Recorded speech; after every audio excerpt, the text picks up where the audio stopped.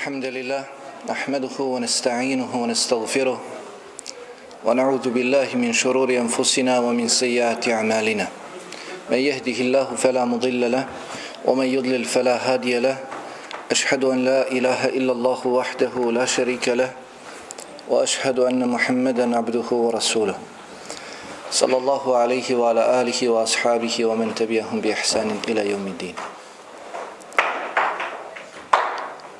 Danas uz Allahu subhanahu wa ta'ala dozvolu otpočinjemo s govorom o vjerovanju sljedbenika sunneta. Onih koji tvrde da slijede Allahovog poslanika alihi salatu wasalam, njegove ashabe i prve zlatne generacije. A danas je takvih ogroman broj. Govorit ćemo Haman pa cijeli dan o tome. Dakle, predavanja jedna druga će nadopunjavati. Danas ovo prvo predavanje govorimo o odrednicama tog vjerovanja, onog vjerovanja kojim su vjerovali Allahov poslanika alaihi salatu uslam njegove ashabi i gledati da koliko možemo zaokružimo u ovom predavanju. Zatim na sljedećem narodnom predavanju, narednom predavanju biće riječi o novotarijama. Jer je jedna od bitnih odrednica sljedbenika sunneta i onih koji se okupljaju oko sunneta, dakle zajednice, da govore o novotarijama, da ukazuju na novotarije. Jer novotarija nema ništa sa vjerom koja je bila za vrijeme Allahovog poslanika, alihi salatu wasalam ona vjera koja je bila u vrijeme Allahovog poslanika alihi salatu wasalam i njegovi ashaba bit će vjera do sudnjeg dana. Ono što nije bilo u njegovo vrijeme neće nikada biti od vjere. Ono što nije bilo za vrijeme njega i njegovi ashaba od vjere, to nikada neće biti od vjere. Kao što je rekao veliki imam Medine, imam Malik, rahimehullahu ta'ala. Pa ćemo govoriti od, na drugom predavanju o tome, O samom značenju novotarije podijeli novotarija dokazima iz Kur'ana, sunneta i govora prvih generacija o pogubnosti i strogoj zabrani novotarije i govoriti o pravilima prepoznavanja novotarije. Jer mnoga dijela uvode se među muslimane i pravdaju se na određeni način općenitim dokazima, nekakvim koristima, pa snimaju, pišu, odgovore zašto radimo to i to, zašto radimo to i to i na takav način zavodeći opet muslimani. Nije im dovoljno samo što su uveli, već dakle pokušavaju još da to opravdaju. Pa ćemo dakle spominjati pravila prepoznavanja novotarije. Kada poznajemo ta pravila, onda lahko možemo da kažemo mašta oni donosili općenite dokaze, nekakve koristi i slično, možemo reći da je to dakle novotarije, da to nema nikakve veze sa islamom.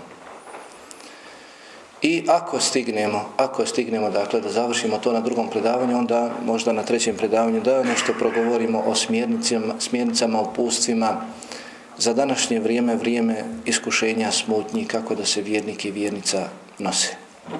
Dakle, sada govorimo o akidi ehli sunnata al džemata, vjerovanju sljedbenika sunneta i zajednice i bitnim odrednicama samih njih, osobinama samih njih, kakvi bi trebali da budu. Ta akida, ako je takva i ako je slijede kao takvu, kakvi oni trebaju biti. Ta akida, to vjerovanje neminovno mora da ostavi traga na njih. Ako tvrde da je slijede, moraju da se izgrađuju, da budu takvi i takvi. Pa vidjet ćemo, dakle, ukratko po tačkama, Zgodno je, sinoć sam rekao da ova predavanja ne mogu se pratiti tek tako lahko. Moraju se pratiti uz olovku i svesku ili na neki drugi način da se bilježe. Ako želi da se nešto ponese sa ovoga mjesta. Dakle, pod samim akidetom, riječ akidet dolazi od riječi akd, rabd, čvrsta veza, ono za što se čovjek čvrsto veže, ono što treba da bude čvrsto vezano za tebe i ti za to, da se ne odvajaš od toga, ono što treba da budeš ubijeđen, pa pod islamskom akidom, islamskim vjerovanjem, ono u što trebamo biti čvrsto ubijeđeni, ne odvajati se ni u jednom trenutku od toga, da nas takvo vjerovanje u ne napušta nikada. Dakle, čvrsto vjerovanje u Allaha Jalla wa'ala, njegove meleke, njegove poslanike, njegove knjige, čvrsto vjerovanje u sudnji dan, Allahu odredbu i sve ono što je došlo u Kur'an i Kerimu i vjerodostojnom hadisu Allahovog poslanika alihi salatu wasalam od vijesti o poslanicima, jeli, o nubuvetu, također jeli, o ashabima, o majkama vjednika, također moramo čvrsto vjerovati Eh, u sve to što je došlo u kitabu i sunnetu vjerodostojnom hadisu, dakle o tome što se govori. Ono na čemu su islamski učenjaci, prije svega prve generacije, imali jedinstveno mišljenje. Dakle, sve ono što potvrđuje kitab i sunnet i jednoglasan stav islamskih učenjaka, prije svega, dakle, prvih, prvih generacija. Takvo nas vjerovanje u objeđenje ne smije napuštati ni u jednom, ni u jednom trenutku i počesto se pod ovim akidetom spominju i druga imena, kao što vam je poznato, jel, pa se kaže tevhid, pa se kaže i'tiqad, pa se kaže šarijat, pa se kaže sunnet, dakle, sve je to jedno, jedno te isto. I poznato je onima koji su se upustili u islamske nauke, koji istražuju i traže islamsko znanje, poznato je da postoje knjige na sve jedno spomenuto ime, a koje govori dakle o ovom islamskom vjerovanju, dakle kitabu šarija, kitabu sunne, kitabu tevhid, ili slično. Dakle, knjige su napisane i na takav način naslovljene, a govori dakle o islamskom vjerovanju, vjerovanju Allahov poslanika alihi salatu wasalam, njegovih ashaba i prvih, prvih generacija. Također, od tematike vjerovanja sedbenika sunneta, dakle ono u što oni vjeruju i čime se trebaju opisati, što se mora naći, dakle pri njima jeste i ono što sam spomenuo, odgovor svim zabludjelim frakcijama, skupinama, lijep, dostojan, dostojanstven, naučan odgovor dakle svim onim zabludjelim strankama, grupacijama, jer istina mora da ostane, mora da ostane vidljiva do sudnjega, do sudnjega dana. Mora da se ukaže jeli na propust, na grešku, mora da se ukaže jeli na zabludu, na novotariju i to je dakle jedna od bitnih odrednica sedbenika sunnetelj i i zajednice. Dakle, često se kaže ehlu sunnet wal jama'a, sljedbenici sunneta i zajednice, dakle, to su oni koji se nalaze, koji se drže vjerovanja, kojeg se država Allahov poslanika alihi salatu slam i njegovi ashabi, koji nastoje da budu na onome na čemu je bio Allahov poslanika alihi salatu slam i njegovi ashabi i drže se čvrsto toga, okupljaju se oko toga, ni oko čega drugoga okupljaju se oko onog vjerovanja na kojim je bio Allahov poslanik alihi salatu wasalam i njegovi ashabi, prve generacije. Zbog toga su dakle i prozvani ehlu sunnet, sljedbenici sunneta i zajednice džemata, dakle oni koji su u zajednici, jeli, po pitanju toga, koji se drže čvrsto u zajednici takvog vjerovanja, takvog, takvog ubjeđenja. Pa od bitnih odrednica tog vjerovanja. Vjerovanja sedbenika sunneta i zajednice jeste čistoća izvora. Dakle, mi tvrdimo da smo također sljedbenici sunneta i zajednice. Od našeg tog vjerovanja jedna od bitnih odrednica jeste čistoća izvora, odnosno, dakle, Kur'an i sunnet. Ovo vjerovanje na kojem je bio Allahov poslanik alihi salam, njegovi ashabi prve generacije, vjerovanje kojem težimo i mi i nastojimo da, nastojimo da budemo i mi takvog vjerovanja, počašćeno je dakle čistim izvorom.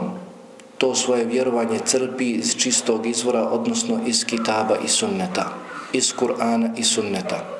Sva upustva, sve smjernice po pitanju spomenutog, dakle vjerovanja u Allaha subhanahu wa ta'ala i ostalog, crpe iz Kur'ana i sunneta. Niz čega, niz čega, jeli, drugoga.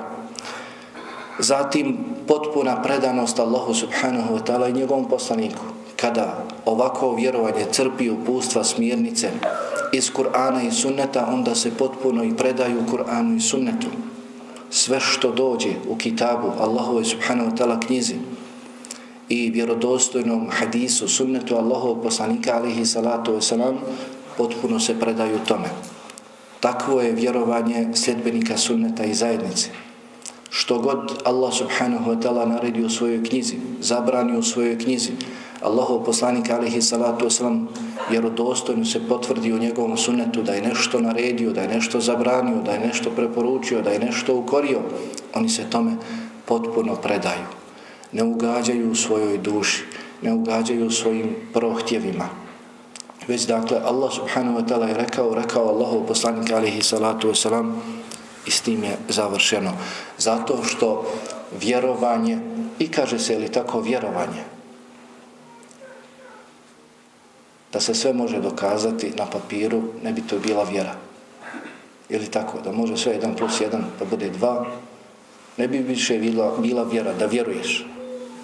Vjerovanje je uglavnom sazdano na gajbu, na neviđenom. Dakle, u Kur'ani Kerimu spominje se mnogo šta nakon smrti. Mi to vidimo, ne vidimo. To je daleko od naših očiju skriveno. To je od gajba. Ali nas, dakle, naše vjerovanje, čvrsto objeđenje postiče da vjerujemo u to, da vjerujemo. Zbog toga ne možeš vjerovati u gajb osim putem Kur'ana i sunneta. Osim putem objave, vjerodostojne objave kakav je Kur'an i također ono što se potvrdi od riječi Allahovog poslanika alihi salatu sam. Zbog toga ehli sunnetu al džemat se potpuno predaju kitabu i sunnetu. Vijest o tim pitanjima došla je u kitabu i sunnetu. I moramo se predati tim izvorima, a ne na kakvim drugim jeli, ljudima, riječima njihovim i slično.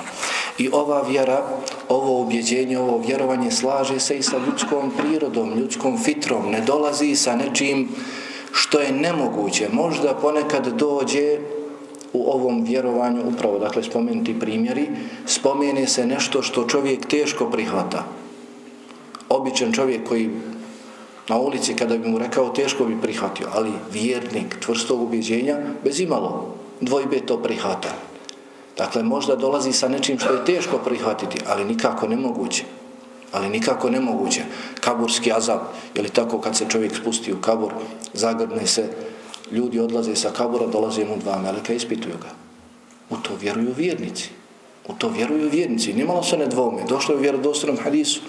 Slično kao što je bilo kada se desio događaj Isra i Mirađa.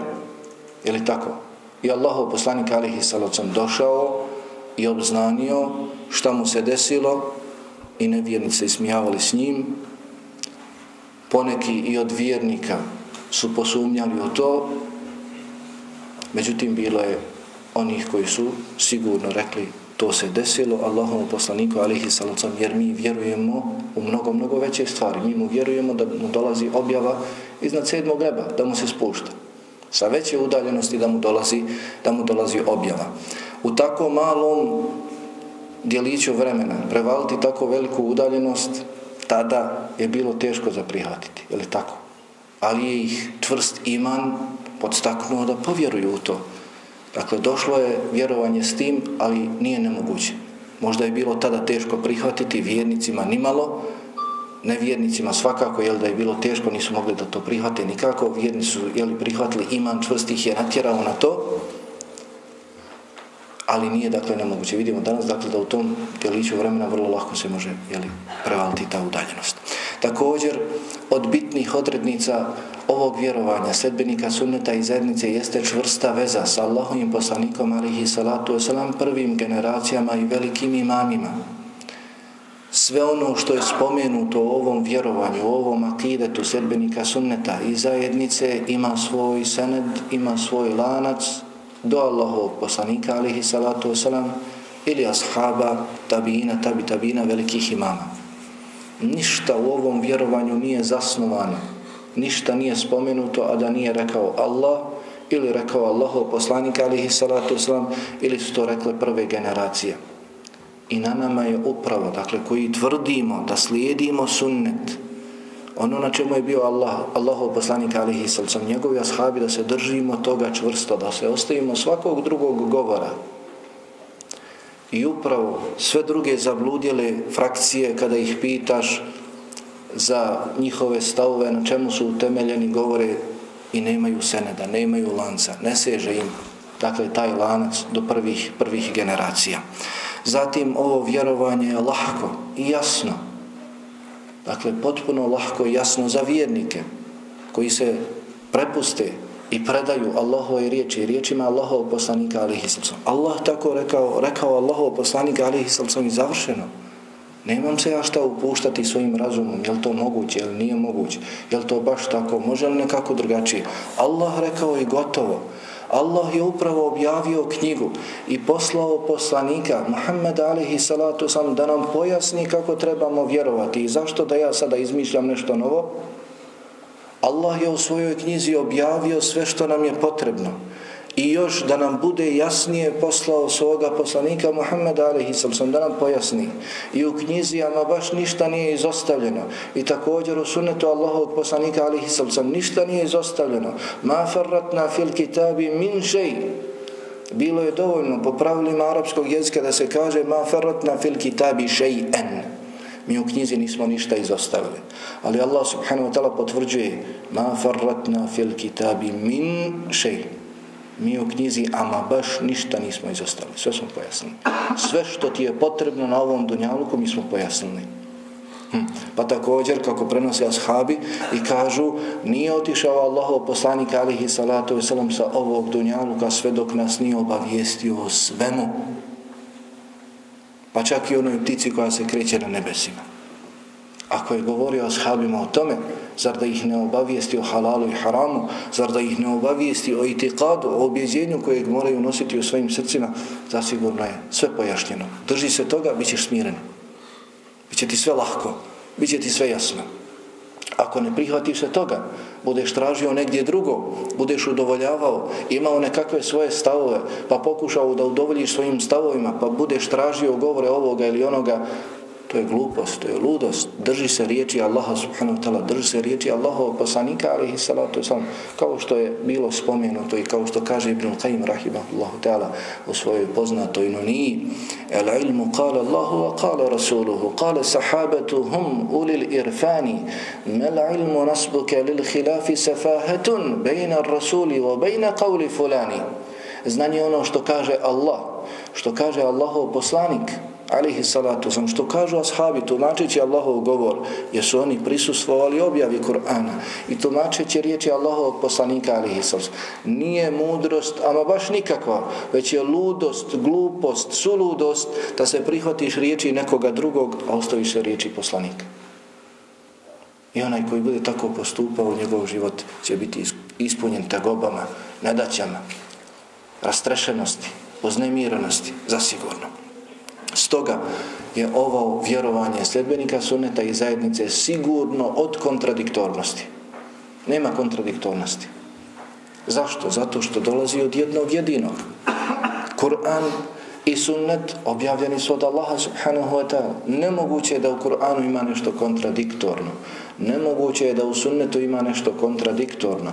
Kontradiktorno je u ljudskim umovima.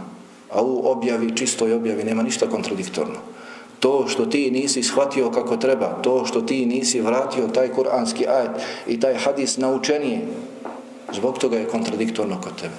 Kao što je rekao veliki islamski učenjak Ebu Bekr Muhammed ibn Huzeime, rahimahullahu ta'ala, koji je preselio 310. godine po Hidžri, kaže, ako neko nađe dva vjerodostojna, kontradiktorna hadisa, neka mi dođe s njima. Ja ću mu pojasniti da oni nisu kontradiktorni.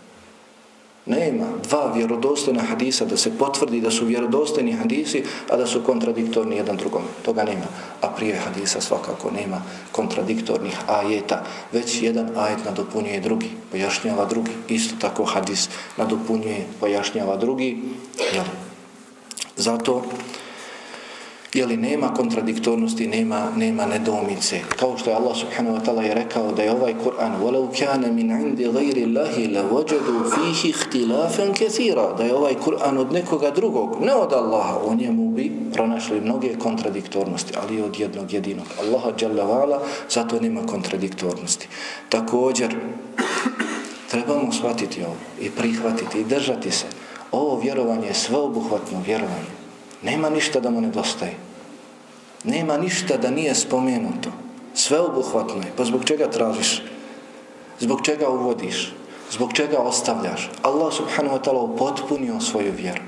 Jedan od zadnjih kuranskih ajeta, kao što vam je dobro poznato, treći ajet sure Al-Majde je objavljen. El jeume ekmeltu lekum dinekum wa etmentu alikum ni'meti, wa raditu lekum el islame dina.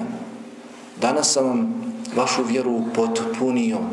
Kada je nešto potpuno, upotpunjeno, nema potrebe ni za čim više. više.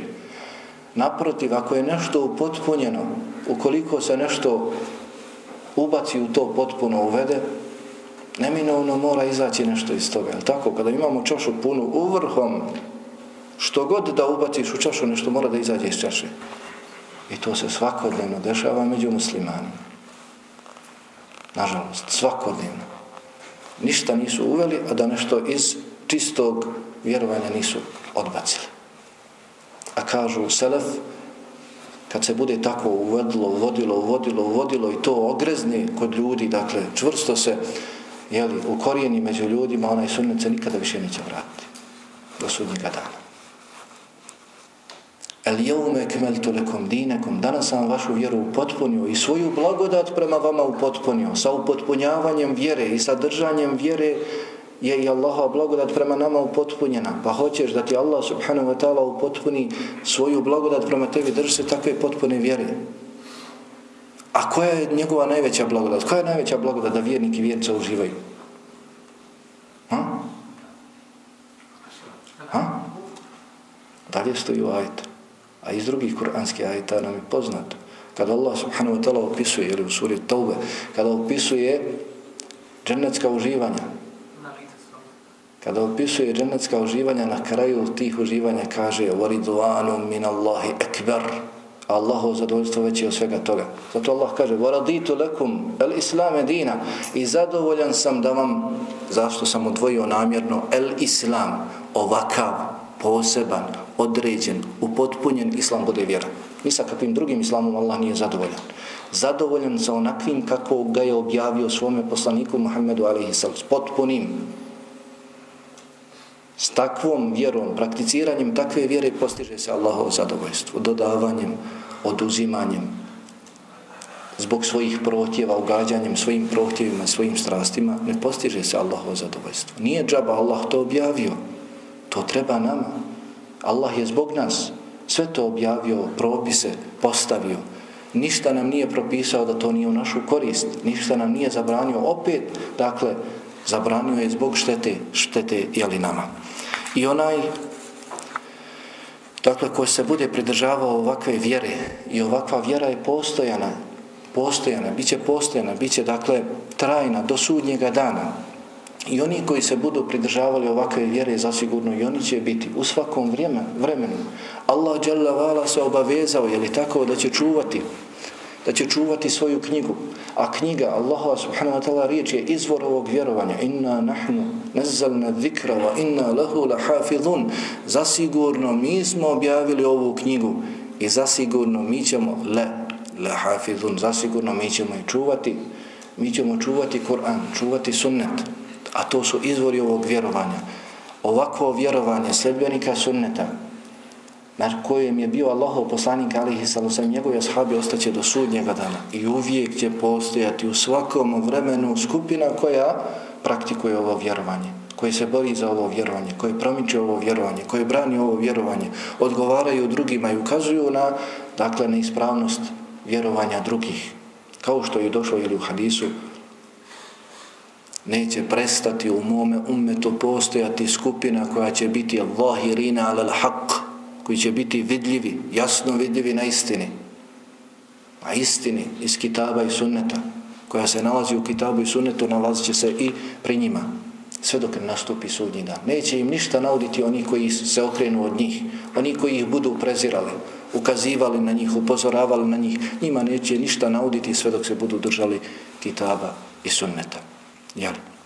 Zasigurno ovako vjerovanje, razloge i pomoći i pobjede i uspjeha i ponosa i ugleda, ko se bude držao, nemojte misliti što nas omalovažavaju, napadaju, pljuvaju mnogi. da pitate i da malo pogledate, pogledate s njihove strane, vidjeli biste kako su uznemireni, kako su strašljivi. Znaju dobro. Ono na čemu se oni nalaze, znaju dobro da nemaju sene, da nemaju lanca do Allahove knjige, niti Allahovog poslanika Alisa.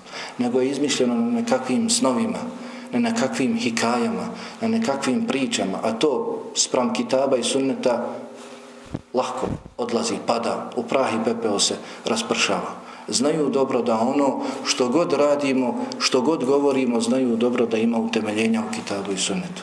Ništa ne kažemo, ništa ne uradimo, a da nije rekao Allah, da nije naredio Allah, da nije zabranio Allah ili Allahov poslanik alihi salatom. Zato zasigurno istinski ponos, istinski ugled, istinski život, pobjeda jeste u slijedjenju kitaba i sunneta, slijedjenju ovakvog vjerovanja. Nemojmo, braćo, draga moja, misliti da istinski život, život tijela, da svoj život ispunimo i prohabamo i provedemo u tjelesnom uživanju.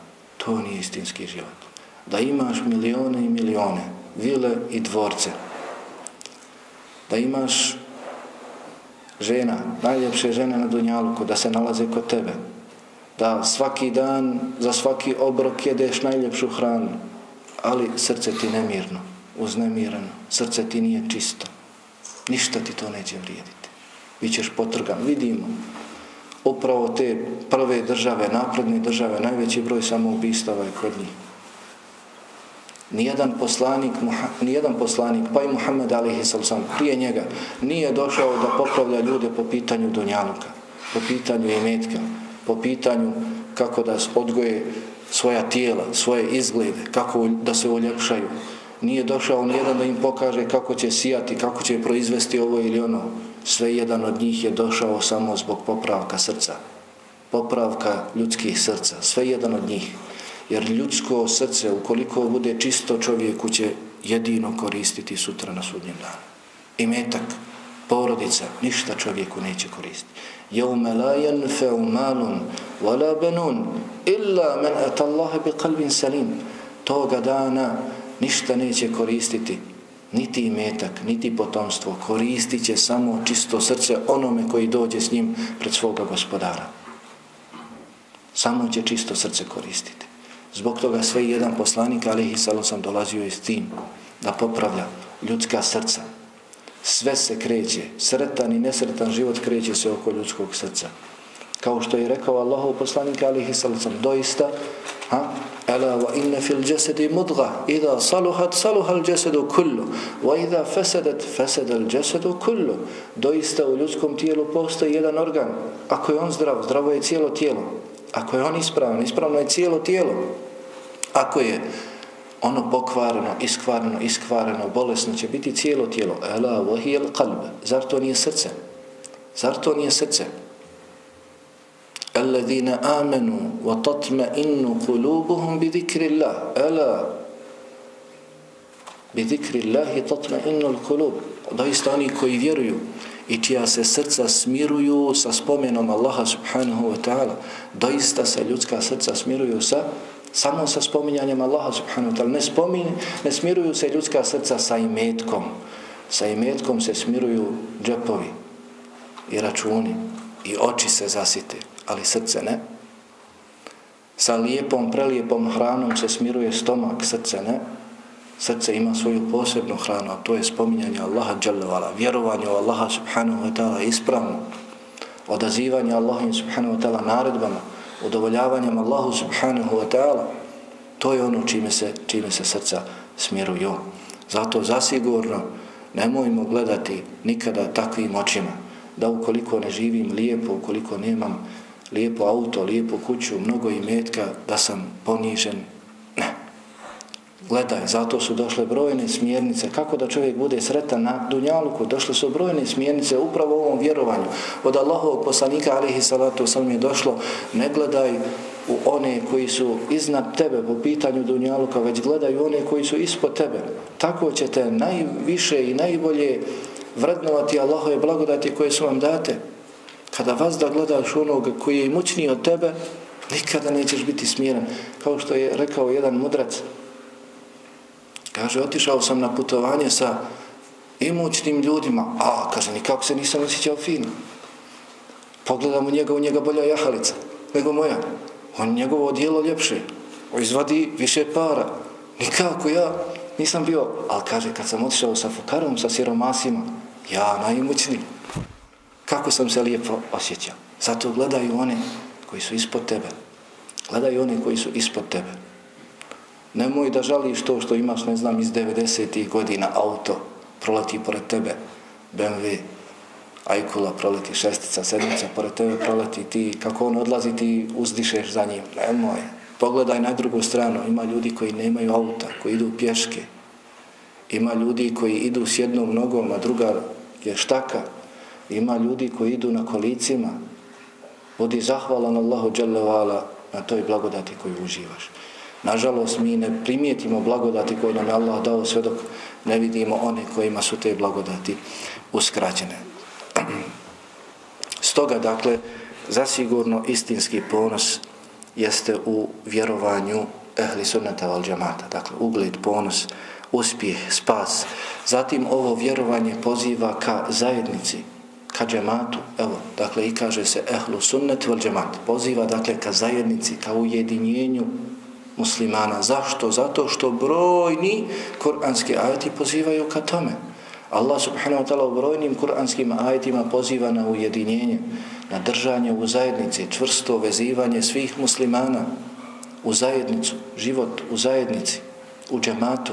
I Allahov poslanika alihi sallam također, sinoć je bio govor o tome. Allah subhanahu wa ta'ala zabranjuje cijepanje, podvajanje, čak u kuranskim ajetima, kaže da ne budemo poput mušrika, onih koji su svoju vjeru podijelili u stranke, svaka stranka zadovoljna s onim što ispovijeda. Pogledajte s čim Allah subhanahu wa ta'ala poredi. One koji cijepaju svoju vjeru i koji se razjelaze od svoje, od svoje vjere. Pa mi koji vjerujemo u kitab i sunnet i oni su nam izvori naše vjere i potpuno se predajemo i mi onda moramo težiti u ujedinjenju. U ujedinjenju, dakle, muslimana. I zasigurno ko bude vjerovao ovakvim vjerovanjem bit će spašen od svakog lutanja. Dakle, ova vjera, u njoj je sve pojašnjeno, sve je pojednostavljeno, sve je, dakle, lahko i zasigurno, dakle, spriječava svoje sljedbenike da lutaju, da tumaraju, jeli, pošto im je sve pojašnjeno jeli, i dostavljeno. Stoga su, dakle, i smireni sljedbenici ehli sunneta val džamata i zasigurno ova vjera, ovako vjerovanje postiče svoje vjernike i na lijepo ponašanje. Dakle, neodvojivo je lijepo ponašanje od ispravnog vjerovanja. Ispravno vjerovanje i lijepo ponašanje, obhođenje, prije svega prema Allahu subhanahu wa ta'ala, zatim prema drugim ljudima neodvojivo je. Brojni su kuranski ajeti u kojima se naređuje vjerovanje, obožavanja Allaha subhanahu wa ta'ala jednog jedinog, nikoga drugog mimo njega, zatim lijepo obhođenje prema njegovim robovima. Brojni su kuranski ajeti, Tako brojni da su islamski učenjaci rekli da ove dvije stvari, ova dva ibadeta su vezani jedan za drugi. Nemoguće je da postoje jedan bez drugoga. Nemoguće je da budu primljeni kod Allaha subhanahu wa ta'ala jedan bez drugoga. Da tvrdiš da obožavaš Allaha subhanahu wa ta'ala jednog jedinog odričeš se svih drugih, a da prema drugim ljudima, Allahovim robovima, nedolično se ponašaš, to je nemoguće. Jedno je uslovljeno drugim. Neće biti ibadet primljen kod Allaha subhanahu wa ta'ala, obožavanje Allaha subhanahu wa ta'ala sve dok se ne budeš lijepo obhodio, ponašao i prema, i prema njegovim robovima. I također brojni su hadisi Allahov poslanika alihi salatu. Ittaqillah hajfama kunt. Boj se Allaha gdje god bio Nakon što učiniš loše dijelo, ako te šeitan ne vede, pa učiniš loše dijelo, učini dobro dijelo, pa će dobro dijelo ga pobrisati وَحَالِتِ nas bi خُلُقٍ hasan i obhodi se s ljudima na najljepši, na najljepši način i brojni, brojni drugi hadisi. Dakle, ovako vjerovanje zasigurno, ovako iz kitaba, sunneta, pojašnjeno, do u detalje, ništa nije izostavljeno, rješenje za svaki problem u kojim se nađemo. Sigurno, Zbog toga, opet ponavljam, nema potrebe da muslimani traže nekakvu drugu vjeru. Da muslimani kroje sebi nekakvu drugu vjeru. Neka se vrate na vjerovanje sazdano na kitabu i sunnetu bit će dovoljno za sve njihove probleme, sve njihove, njihova rješenja. Zasigurno ni jedan musliman, muslimanka neće se naći u situaciji da se u toj situaciji nije našao Allahov poslanik alaihi sallam. Allah ga je poslao i u tom vremenu u kojem je živio dao mu je da se nađe u mnogim situacijama u kojima se nalazimo i mi. Dao ga je da se mi podučimo na njegovom primjeru kada se nađemo u takvoj situaciji da ne lutamo, da imamo rješenje. Pa vam mi je poznato čak kako da spomni veliki islamski autoritet Ibn Qaim rahimahullahu ta'ala u Zadul Ma'adu kod govora o seđdi sehva kod govora o seždi sehva, mnogi naši kažu sehvi sežda, tako? Sehvi sežda nije ispravno. Sežda sehva. Sehvi sežda je greška zbog sežde. Samo jedan je napravio grešku zbog sežde. Pa se kaže sežda sehva. Sežda zbog propusta. Sežda zbog greške. Dakle, sežda sehva, ne sehvi sežda.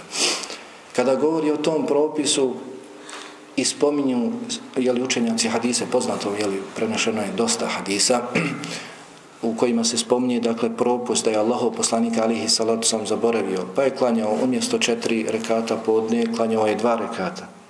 Pa mu je rečeno da je klanjao dva rekata nakon što se uvjedio, uvjerio klanjao još dva. Pa je umjesto četiri rekata i kindije klanjao tri pa jedne prilike klanjao pet. Dakle dešavale se te situacije. Pa kaže Ibnul Qaim rahimahullahu ta'ala Poslanik, ali to sam nije pogriješio. Onaj koji kaže da je pogriješio, on je pogriješio. Poslanik, ali sam nije pogriješio. Već je to Allaha mudrost. Allah je to dao da se mi podučimo na njegovom primjeru. Kako da postupimo kada se to nama desi? Dakle, zasigurno u ovakvom vjerovanju imamo rješenje za sve naše probleme. Za sve naše nedomice, za sva naša pitanja. Problem je kod nas što mi ne tražimo. Odgovor je treba što se mi ne obraćamo onome koji, treba, koji poznaje kitab i sunet, onome kome se trebamo obratiti, već gledamo prije svega možda da udovoljimo svome nefsu, svojim prohtjevima, svojim strastima, već unaprijed priželjkujemo takav odgovor, upakujemo svoje pitanje da bismo dobili odgovor koji nama odgovara. I zato se i nalazimo u ovakvom stanju podijeljenosti, pocijepanosti i slično. Dakle, ukratko na brzinu, kakvi trebamo da budemo mi? Dakle, ovo je nešto bilo o našem vjerovanju, neke odrednice. Dakle, mi trebali bismo se ograničavati na Kur'an i Sunnet. Na Kur'an i Sunnet kao izvore, izvore vjere. Na Kur'an i Sunnet, dakle, i svakako i džma. Dakle, jednoglasno mišljenje islamskih učenjaka, ashaba, jeli pa nadalje, ono oko čega oni su imali jedinstveno mišljenje, a i oni su to zasigurno jeli sklopili na osnovu Kur'ana Kur'ana i Sunneta. Dakle, moramo se ograničiti na Kur'an i sunnet. I uzeti govor, sinoć je bilo tako jedno veliko pravilo da mi ehli sunnet val džamat uzimamo istinu od koga god istina dođe. Istina koja je sazdana na kitabu i sunnetu, koja ima svoje uporište u Kur'anu i sunnetu, mi uzimamo od koga god ona dođe. I od koga god nam dođu riječi, rekao ovaj, rekao ovaj, rekao ovaj, ima istine, prihvata se ta istina. Ima utemeljenja u Kur'anu i sunnetu, mi smo obavezni da to prihvatimo jer se takav način, na takav način odazivamo Kur'anu i sunnetu. Ukoliko u njegovom govoru ima nešto što je istina, nešto što nije istina, uz dužno poštovanje uzima se ono što je istina, ono što nije istina se ostavlja. Neće se zbog toga što je rekao iz određenih razloga, pogriješio, nije znao, rekao dakle nešto što nije istina, što nešto ne, nema dakle potkrepljenja u kitabu i sunnetu, neće se zbog toga čovjek pljuvati, omalovažavati ili podaštavati, odbacivati, ignorisati, što je danas postao luksuz, krizati, odbacivati dakle od sebe. Ne, tražiti opravdanje, je li slično, ali prihvatati samo ono, uzeti i raditi samo ono za što postoji dokaz u Kur'anu i sunnetu. Kao što je rekao veliki imam Medine, imam Malik, kullu kelamin minhu dul qabuli wa minhu mardudun siva ar rasuli. Od svakog čovjeka se uzima i odbacuje osim od poslanika. Od poslanika Muhammeda alihi salatu sam sve se uzimalo od svih drugih koji dođu nakon njega, uzima se i odbacuje. Uzima se ono što se slaže sa sunnetom Allahov poslanika alihi sallam, odbacuje se ono što se, što se ne slaže. I poznato vam je da su veliki islamski učenjaci pisali dijela, spominjali propuste, greške velikih imama, velikih učenjaka i tražili im opravdanja. tražili im opravdanja, ali se nisu povodili u tim stavovima, u tim stavovima u kojima su oni pogriješili. Pa slično kao i tamo drugo, da se potpuno predamo tome, da ne imamo mi izbora. Ako nam dođe kuranski ajet, dođe nam vjerodostojna hadis Allahovog poslanika alihi salacom i kaže nam se tako, Nijedan vjernik, nijedna vjernica, ako žele da budu takvi, nemaju pravo da poslije postupaju kako oni hoće. Ako dođe jasan kuranski tekst, jasan vjerodostojan hadis po nekom pitanju, ja, ti, peti, deseti, ukoliko želimo biti vjernici, nemamo pravo poslije da postupamo po svome nahođenju. وَمَا كَانَ لِمُؤْمِنٍ ولا مؤمنة إذا قد الله ورسوله أمرا أن يكون لهم الخيرة من أمرهم kada Allah i njegov poslanik nešto odrede ni jedan vjernik došlo je oma kana li mu'minin neodređeno dakle sve jedan ni jedan vjernik ni jedna vjernica nemaju pravo da po svome nahođenju postupi إنما كان قول المؤمنين إنما كان قول المؤمنين إذا دعوا إلى الله ورسوله ليحكم بينهم أن يقولوا سمعنا وأطعنا Samo su riječi vjernika kada se pozovu Allahu i poslaniku da im presude u nečemu da kažu čuli smo i pokorili smo se. To samo vjernici kažu. Ovo je osobina vjernika, a ne ima neko koji kaže drugačije. Biće onako kako ja kažem, ne kako kaže Allah i poslanik. Ne, to vjernik ne smije reći. Kada Allah i njegov poslanik nešto kažu, završeno je. Čuli smo, zato je došlo, čuli smo i pokorili smo se, gotovo, završeno. Ne čujemo i pokoravamo se. Danas, sutra možda ne. Već čuli smo i pokorili smo se i stavljena je tačka na to, na to pitanje. Zatim, moramo slijediti te šarijatske tekstove, a ne uvoditi nešto novo. Dakle, bitna odrednica sljedbenika sunneta i zajednice jeste da slijede Allahov poslanika alihi sallam ashabe, prve zlatne generacije, velike učenjake imame slijede ono što je bilo dovoljno njima, dovoljno i nama. Kao što kaže veliki imam Auza'i, slijedi ne uvodi. Tamo gdje su oni stali prije tebe, koji su živjeli prije tebe, zlatne generacije ashabi, tamo gdje su oni stali, nisu govorili o tome, ne govori niti, stani ti ono što su oni rekli, reci ti, ono što je bilo dovoljno njima, dovoljno i tebi, sigurno. Allah je bolan za ashabe rekao radijallahu anhu wa radu'an, radijallahu anhu wa radu'an, na mnogim mjestima. Allah je zadovoljan njima i oni su zadovoljni njime. Nije to tek tako lahko se postiglo. Allah je zadovoljan njima, da Allah bude zadovoljan njima. Nije su tek tako lahko. Pa zar da mi okrećemo se prema nekome drugom, i slušamo nekoga drugog i pratimo nekoga drugog šta čini šta govori a nećemo da slušamo njih da isčitavamo njihov život njihovu biografiju na prvom mjestu Allahovog poslanika alihi sallam pa nadalje jer je za njih rekao Allah da je zadovoljan njima. Pa želimo li mi zadovoljstvo? Kako da ne? Allahovo zadovoljstvo najveća blagodata učuli smo. Ali ne može se tek tako lahko postići osim onako. Kao što je rekao imam Malik rahimehullahu ta'ala također ono neće se popraviti završnica ovog umeta mi smo završnica. Neće se popraviti završnica ovog umeta osim onako kako se popravila prethodnica kako se prvi popravili. Zadnji se neće popraviti sigurno osim na onakav način kako se popravljali popravljali prvi dakle trebamo slijediti ništa ne uvoditi ne ići ispred Allaha subhanahu wa ta'ala i njegovog poslanika Muhammeda alihi sallam. Poznati su oni, tako? Prvi ajeti sura al-Huđurat, opasni ajeti. Čitamo ih, ali naša mahana ne zastajemo i ne razmišljamo tim kuranskim ajetima. Ja juha ledine amenu, la tuqaddimu bejne jede illahi wa rasulih, vattakullah, inna Allahe samijun alim. O vjernici, bojte se Allaha, ne idite ispred Allaha i njegovog poslanika. Bojte se Allaha, doista Allah subhanahu wa ta'ala sve čuje i sve vidi. Zna sve i čuje vas. Ne idite, ne govorite vi ako nije rekao Allah, ako nije rekao Allahov poslanik alihi salatu sam. يا أيها الذين آمنوا la ترفعوا أصواتكم فوق صوت النبي wa la له بالقول bil بعضكم لبعض أن ba'dikum أعمالكم وأنتم لا تشعرون a'malukum, wa antum la tešporon.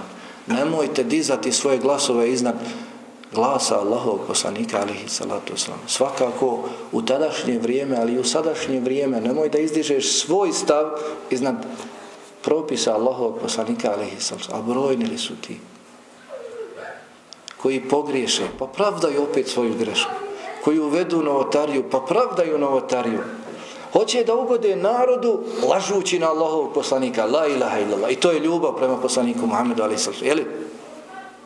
Uvode novotarije, znaju da je ta novotarija i slično uvedene 400 godina nakon Allahovog poslanika Muhammeda alaih sallam. I još izmišljaju hadise, čućete ako Bog da na sljedećem predavanju da se čovjek osmuči. Ne znam više šta bi, da li bi plakao ili se smijao. Kakve su samo hadise i laži izmišljali na Allahov poslanika alihi salatu I takve novotarije uveli.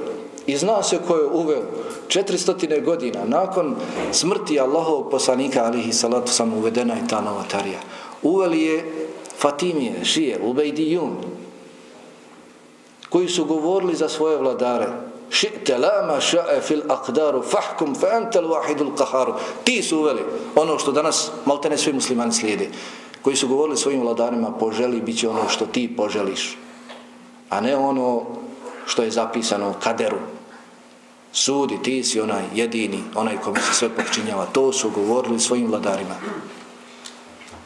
I oni su uveli ne jedan već šest mevluda u godini za svoga vladara, za Allahov poslanika Muhammeda alihi salatu sam, za Aliju, za Fatimu, za Hasana, Huseina i za svoga vladara.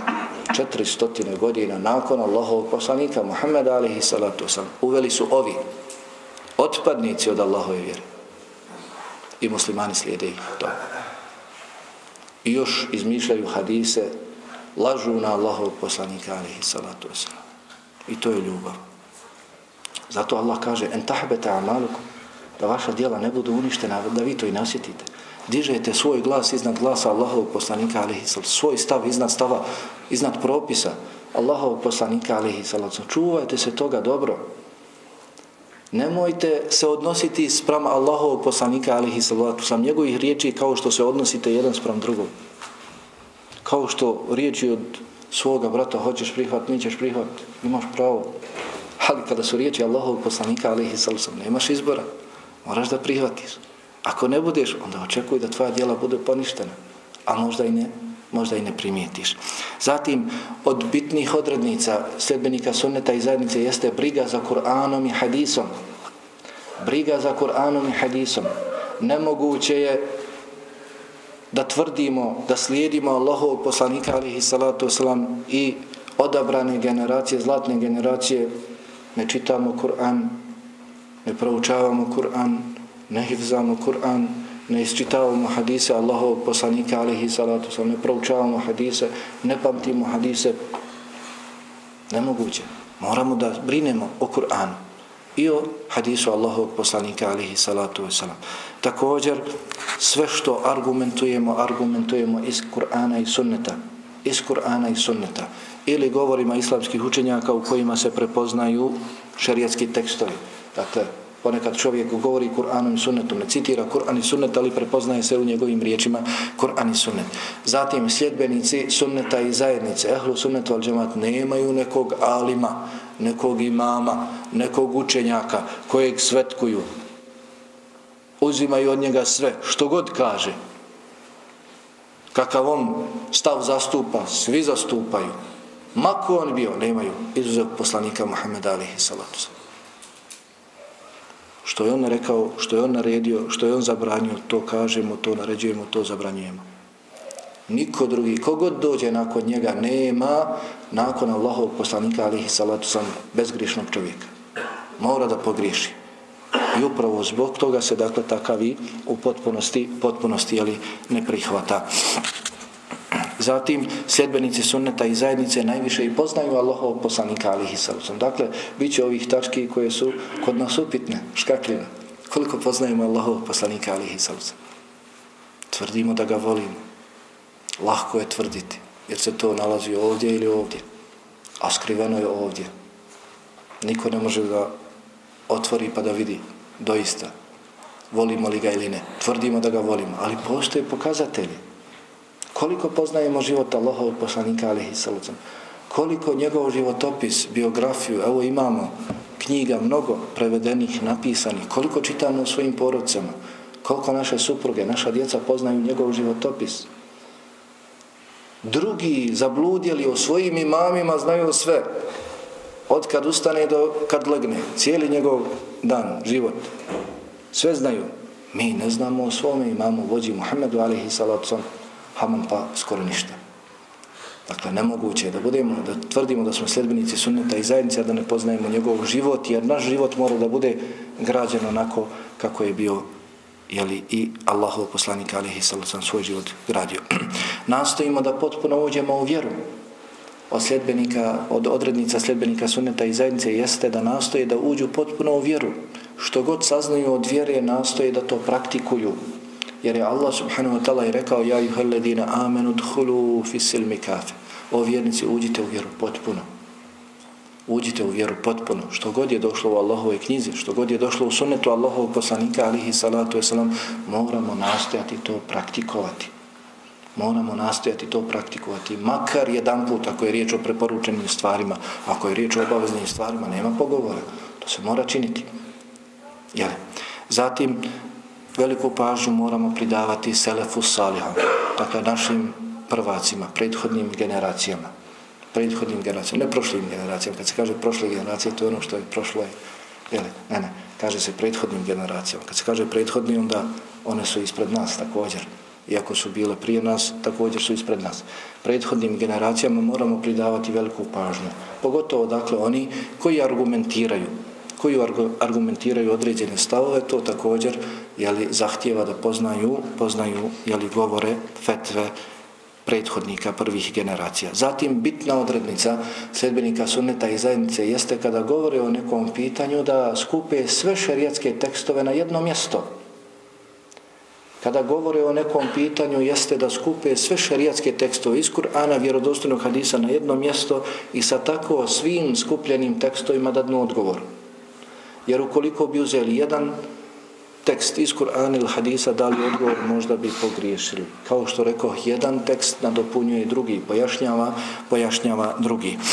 Također, kod sljedbenika sunneta i zajednice nalazi se i znanje i ibadet.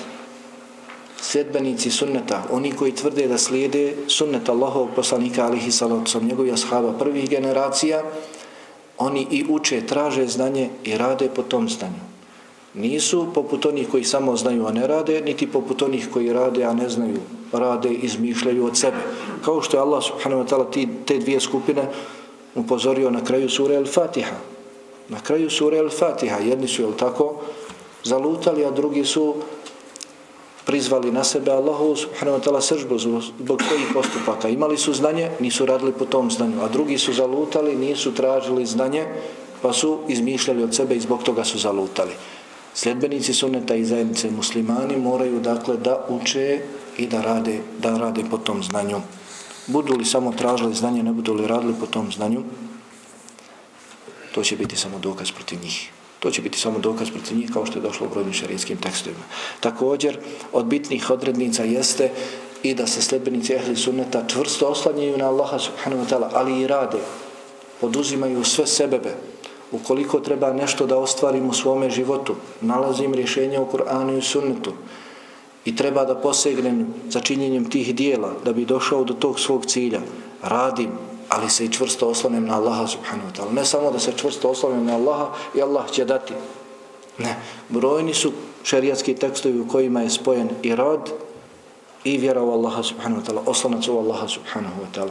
Naprotiv, kada se vratimo na definicije oslanca telekula, čvrstog oslanca na Allaha subhanahu wa ta'ala, vidjet ćemo da ta definicija obuhvata rad. Rad po sebebima, razlozima, jeli koji dovode do ostvarenja tog cilja. Zato prelijepo kaže islamski učenjak Ibn Kajim, kada govori o osloncu, koliki treba biti oslonac na Allaha subhanahu wa ta'ala čvrst i da čovjek uradi od sebe što je u mogućnosti kaže kada bi čovjeku bilo naređeno da ukloni brdo i on se čvrsto oslonuo na Allaha subhanahu wa ta'ala i krene shodno svojim mogućnostima da ga ukloni, uklon će ga.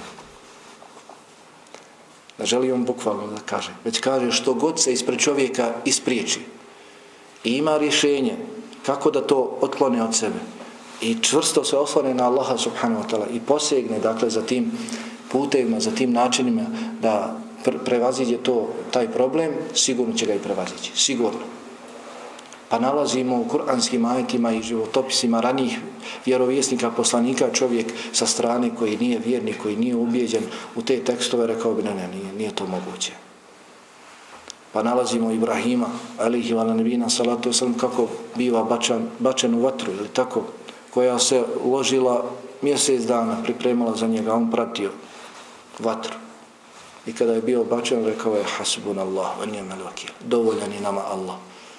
I divan li on zaštitnik i pomagač. Pa vidimo Musa, alaihi salatu oslam, izlazi sa svojim narodom, bježi od tiranina, od zulumčara, od taguta, faraona, a on dolazi u pojedinim predanjima, stoji sa ogromnom vojskom, sa šestotina hiljada vojnika, koji je bio poznat, po čemu je poznat? Skidanju glava. Pa je došao do mora sa svojim sedbenicima. Pa kažu, inna le mudrakun, gotovo je, stignuti smo. Dolazi faraon. Kaže, kella, innama je rabbi, nikako, sa mnom je moj gospodar. On će me uputiti na pravi put. Ja sam mu radio što sam mogao. Ja više ne mogu. Ja sam uradio i čvrsto se oslonuo i sav svoj život počinio njemu, dao njemu. Zar da me Allah ostavi? Nikako. On će me uputiti na pravi put. Pa kažu mu Feseri nije ni završio se jehdin, on će me uputiti na pravi put, a da Allah nije rekao udar svojim štapom po moru. Pa je udario i mora se rascijepilo. Dakle, sljedbenici suneta i zajednice i uče i rade i čvrsto se oslanjaju na Allaha subhanahu, subhanahu wa ta'ala. I milostivi su i blagi, ali isto tako i strogi i grubi. Ne dakle samo da su milostivi prema svakom, jeli blagi prema svakom, u svakom slučaju, na svakom mjestu, prema svakoj osobi, nikada grubi, nikada žestoki, što god im se reklo, što god im se prigovorilo, što god od svetinja pred njima se pljuvalo i psovalo, njima sve jedno, ne. Dakle, ima mjesto kada su milostivi i blagi, ima mjesto kada su, kada su grubi jeli, i žestoki. Također, pravednost, jedna od bitnih naših odlika koja moraju krasiti, koja mora krasiti sve jednog sedbenika sunneta i zajednice, jeste da je pravedan kada radi, kada govori da je pravedan, makar to bilo na njegovu štetu. وَإِذَا قُلْتُمْ فَعْدِلُوا وَلَوْ كَانِ دَا قُرْبَ Kada govorite, pravedno govorite, budite pravedni, makar to bilo na štetu vaših najbližih. Kada govoriš, moraš da govoriš pravedno. Budite pravedni svjedoci radi Allaha subhanahu wa ta'ala ili drugi kuranski ajeti. Također emanet, povjerenje, pogotovo u dostavljanju vjere, u pojašnjavanju vjere, emanet. Sjedbenici sunneta i zajednice nikako se ne smije desiti da spominju od prvih generacija ono što njima odgovara u dotičnom vremenu, opravdavaju svoje stavove, pa uzimaju pola reda, taj, ta polovica reda opravdava njihovo jeli, mišljenje, njihovo, njihov stav da pročitaju do kraja rečenicu, bilo bi drugačije na jednoj stranici fetvi šehol Islava ibn Taymiye nalaze jeli, za opravdanje za svoj stav da okrenu drugu stranicu, ne bi našli takav stav. Kao što mnogi znaju čitati Fethul Bari od Ibn Hajara kao najbolji komentar, na, jeli, naj, najopširniji komentar na Buharin Sahih, gdje Hafiz Ibn Hajar iznosi mišljenja drugi. I šehol Islam Taymiye zna često iznositi mišljenja drugi u svojim fetvama i onda na kraju odreže i podvuče, kaže ovo je ispravno. I kaže, pogledajte što kaže Hafiz ibn Hajar u Fethul Bari. Pogledajte što kaže šehr Islam Taymiye u svojim fetvama. On spominje i govore drugi. To nisu njegove riječi. Ne, ne, rekao šehr Islam Taymiye u svojim fetvama. Ne. Sedbenici sunneta i zence moraju da budu pravedni. Moraju, dakle, da imaju emaneta u dostavljanju, u prenošenju. Makar to bilo na njihovu štetu. Jer svi mi moramo tražiti istinu, hak, ma od koga ona došla od onoga ko se tebi ne sviđa, dođu riječ istine, obaveza ti je prihvatiti. Hak dolazi s njegove strane. Imam Šafija je rekao, kamo sreće da istina dođe s druge strane, da ne dolazi s moje strane. Kad god bi raspravljao, diskutovao, volio bi da istina dođe s druge strane. Kaže, zašto? Zato što sam ja odma na početku diskusije odlučio da ću prihvatiti istinu, ma od koga ona dođe. Ne znam je li onaj drugi. Možda onaj drugi će samo prihvatiti ako dođe s njegove strane. Zato bi ja i volio da dođe s njegove strane. I on će prihvatiti i ja ću, i ja ću prihvatiti. Takvi trebamo, dakle, da budemo. Zatim umjerenost, sredina. bitna osobina koja krasi sljedbenike sunneta i zajednice i Allah dželle vala i rekao وَكَذَلِكَ جَعَلْنَكُمْ وَكَذَلِكَ جَعَلْنَكُمْ kedalike وَسَطًا mi smo vas učinili središnjom umjerenom zajednicom kao što je islam sredina između svih drugih vjera isto tako ehlu sunnet wal džamad, sedbenici sunneta i zajednice su sredina između svih drugih jeli, zalutalih pravaca nema razilaženja u osnovama vjere. Sedbenici sunneta i zajednice ne razilaze se jeli, u osnovama osnovama vjere. Također ne raspravljaju se u vjeri. Ostavljaju rasprave, ostavljaju rasprave u vjeri, jer rasprava u vjeri dobro nam je poznato da dovodi do cijepanja, podvajanja, udaljavanja srca, zatim udaljavanja tijela, mržnje, izbjegavanja jeli, i slično, a Kur'an i Sunnet pozivaju upravo na suprotno, na zbližavanje, ujedinjenje i slično. I postoje brojni jeli, šerijetski tekstovi koji, nam, koji, nam, koji nas upozoravaju na raspravu jeli, i diskusije u vjeri. Zatim, kao što rekoh, nastojanje okupljanja oko jedne riječi, oko jedne riječi, međutim, dakle, nije uvijek, jel? Je uvijek. Već, dakle, postoje principi, postoje osnove, pa se često kaže tevhidul kelime ala kelimeti tevhid. Tevhidul kelime ala kelimeti tevhid, ujedinjenje riječi oko riječi tevhida. Ujedinjenje riječi svih muslimana oko riječi tevhida, oko istinskog obožavanja samo Allaha subhanahu wa ta'ala i slijedjenja samo Muhammeda alaihi salatu wasalam. Dakle, muslimani se trebaju okupiti, okupiti oko toga. Lijepog su ponašanja, kao što rekao, nemoguće je da čovjek tvrdi da ispravno vjeruje, da obožava samo Allaha subhanahu wa ta'ala, da slijedi samo Allahovog poslanika alihi salatu wasalam, a da nije, a da nije lijepog ponašanja. Naprotiv u njegovom životu vidjet ćemo dakle da je bio ispunjen lijepim ponašanjem prema svakom To ne znači da se dodvoravao, da se umiljavao ovom ili onome, ne. Lijepo se obhodio prema svakome da bi dostavio vjeru, da bi dostavio vjeru do, do njega. Također, sedbenici sunneta i zajednice pozivaju Allahom, pozivaju Allahom poslaniku alihi salatu wasalam. Nemoguće da kažu mi vjerujemo i dovoljno. Mi vjerujemo kako treba i sjedimo, nije nas briga za druge. Ne. Dakle, poznato nam je dobro. Sadržina sure El Asr ukazuje na to da moramo pozivati, moramo preporučivati istinu drugima, moramo pozivati na istinu druge. Wal Asr innal insana lafi khusr illa alladhina amanu wa amilu salihati wa tawasau bil haq wa tawasau bis sabr.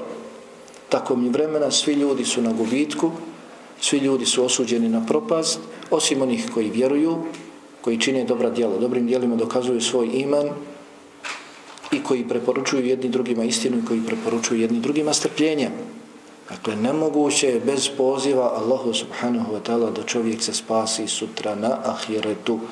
Pozivaj shodno svojim mogućnostima. Prvo kreni od svojih wa عَشِيرَتَكَ ašireteke i upozoravaj svoje jeli bližnji, jeli kao što je Ibrahim alihi wa nabina salatu wasalam pošao od svoga babe.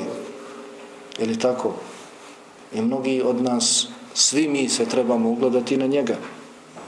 I svim vjerovjesnicima nakon njega je bilo naređeno da se ugledaju na njega. I zato nije mali broj sura u kojima se spominje kazivanje o Ibrahimu. Koliko sura? Kur'anski sura govori o Ibrahimu. 25. Kur'anski sura govori o Ibrahimu. Pa čitamo kroz Kur'an, kada čitamo Kur'an, da nailazimo na primjer Ibrahima, tako često, da se povedemo za njim. Jel? I prejasno nam je rečeno u suri Jusuf, kul hadihi sabili ad'u ila Allahi ala basiratin ana wa mani tebani. Reci o Muhammede, ovo je moj put na kojem pozivam Allahu na kojem pozivam Allahu, ne pozivam odmoru, ljenčarenju i ostalo, ne, već pozivam Allahu jasno sa znanjem ja i onaj koji me slijedi. Ja i onaj koji me slijedi. Ako tvrdimo da slijedimo Allahovog poslanika Muhammeda alihi salatu sam da se okupljamo oko njegovog sunneta, onda moramo da pozivamo shodno svojim mogućnostima koliko smo mogućnostima i druge, i druge ka tome. I mnogo je tih odrednica jeli, mislim da je dovoljno da se ili zadržimo na spomenutim. Dakle, prijatelju i neprijatelju uspostavljaju i prekidaju veze samo na osnovama vjere, ne proglašavaju nevjernicima jedne druge, novotarima jedne druge, osim, dakle, oni koji zaslužuju da budu prozvani takvim, za koje postoji dokaz iz kitaba i sunneta, kao što je rekao Ibn Qaim rahimahullahu ta'ala u svojoj nuniji, الكفر حق الله وحق wa بالنص يثبت bin بقول فلان la كان رب fulani faman kana كفراه فذاك wa abduhu qad dhul kufrani. Kufr, propisivanje kufra, iznošenje kufra nad nekim je Allahov pravo, pravo Allahov poslanika alihi salatu wasalam. Bin nasi jethbut sa jasnim, čvrstim, vjerodosanim dokazom se utvrđuje ne po riječima ovoga ili onoga, pa koga su Allah i njegov poslanik, Muhammed alihi salatu proglasili nevjernikom, on je, on je jeli nevjernik. Čuvaju svoja srca, svoje jezike, odgovara o ashabima, o ashabima, prvim generacijama govore samo najljepše, smireni su od lutanja, tumaranja, kontradiktornosti, dobro provjeravaju sve vijesti, ne žure sa osudama, već dakle provjeravaju vijesti, ja juha ledina amenu in džajakum fasikum bi nebein fetebejenu, o vjernici ako vam dođe kakav fasik, nepovjerljiv čovjek sa nekakvom bitnom viješću, vi je provjerite, ispitajte da ne biste poslije nekome učinili nažao pa se poslije zbog toga kajali. Provjeravaju vijesti pa kada utvrde da je vijest pouzdana onda imaju lijepo mišljenje o svome bratu za koga je vezana ta vijest. Imaju lijepo mišljenje ne usuđuju ga odma pa mu traže opravdanje pa i 70 opravdanja pa se boje Allaha subhanahu wa ta'ala da ne iznesu propis na njega boje se da će pogriješiti. Prvo pripreme odgovor svome gospodaru Allahu subhanahu wa ta'ala zbog čega su nešto rekli, zbog čega su nešto uradili. Svoje mišljenje, svoj stav, svoju osudu čiste daleko od svih prohtjeva, strasti.